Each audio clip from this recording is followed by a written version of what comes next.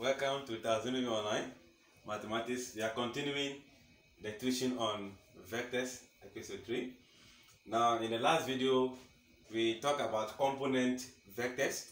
So, a component of a vector is represented in this form, where the A is measured along the x-axis and the B is measured along the y-axis. Now, we want to see the diagram being changed from A to B, B to C if you are asked to find a resultant vector from the previous knowledge, a resultant vector is the direct movement from A to B. A, sorry, A to C, then the displacement from A to B and B to C. So we have A, B vector plus B, C vector. So that's what we call the resultant vectors. Now, if you want to change the position of A. If you want to change the position of A to become O, you know the Cartesian plane meets at the center. So this center is the origin. So you want to use the center as origin. So if you are using here as origin, it means the position of A becomes O. So here I'll be having vector OC equals to vector OB plus vector BC. So we are just changing the, the position of A with what? O. Now, if this is what we have, now we can see that this is from the origin to C. So from the origin to C, from the origin to B. So we want to know the magnitude of BC. We want to find the magnitude of BC since we are having from the origin. Now, if I want to make BC the subject, it becomes vector BC, which is being maintained at the right, sending OB towards this.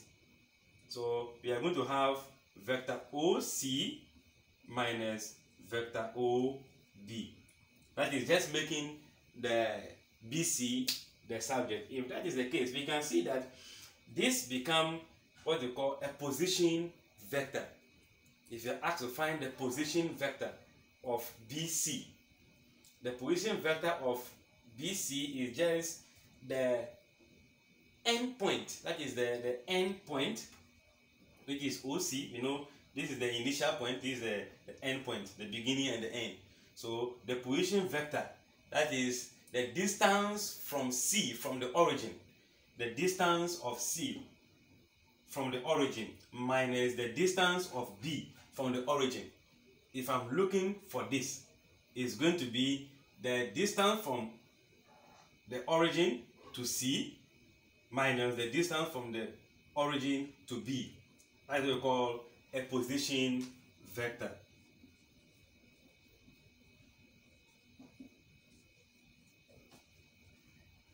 So a position vector, so for example,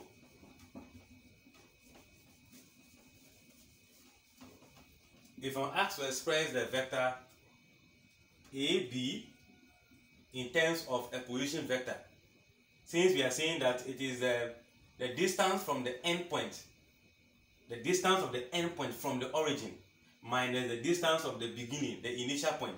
So this is going to be OB as a vector minus OA.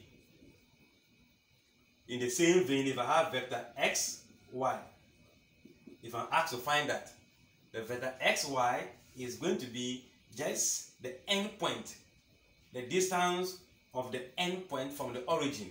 So oy, then the distance of x from the origin, we have for ox. This is what we call